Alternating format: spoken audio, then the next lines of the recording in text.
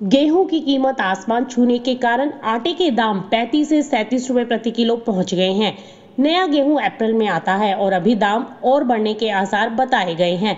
केंद्र सरकार ने 2022-23 में गेहूँ का समर्थन मूल्य दो हज़ार रुपए प्रति क्विंटल रखा है, जबकि बाज़ार में गेहूँ अट्ठाईस सौ प्रति क्विंटल मिल रहा है।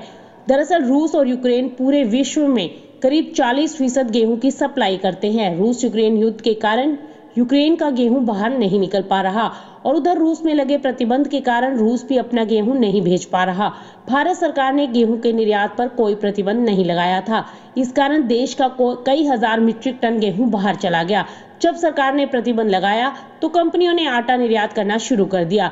अब सरकार ने आटे के निर्यात पर भी प्रतिबंध लगा दिया और पिछले वर्ष गेहूँ की पैदावार भी कम रही थी।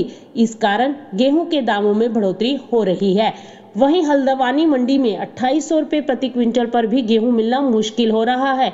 इसीलिए उधम सिंह नगर की मंडियों से गेहूँ मंगाया जा रहा है और इसके दाम साढ़े सत्ताईस सौ से अट्ठाईस सौ रुपये प्रति क्विंटल जा पहुँचे हैं, जिसके कारण खुले बाज़ार में आटा पैंतीस रुपए से लेकर सैंतीस रुपये प्रति किलो बिक रहा है।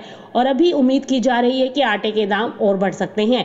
व्यापारियों का कहना है कि निर्यात होने के कारण भारत में पर्याप्त मात्रा में गेहूँ नहीं बचा है। जिन व्यापारियों के पास गेहूँ है, वो भी अपने गोदामों से बाहर नहीं निकाल रहे। गेहूँ की जमाखोरी हो रही है और इस कारण उन्हें अट्ठाईस सौ रुपये प्रति क्विंटल में आटा मिल रहा है। वहीं दूसरी ओर केंद्र सरकार ने राशन कार्ड धारकों को दिए जा रहे गेहूँ में भी कटौती कर दी है। मुफ़्त राशन में भी गेहूँ नहीं मिल रहा। पीले कार्ड पर गेहूँ के बदले चावल दिया जा रहा है। इस कारण बाज़ार में आटे की डिमांड बढ़ी है।